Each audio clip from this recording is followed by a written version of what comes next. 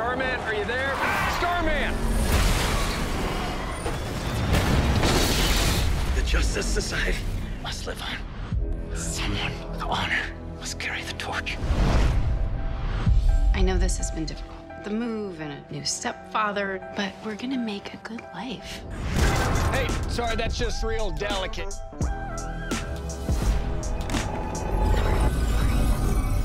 What are you?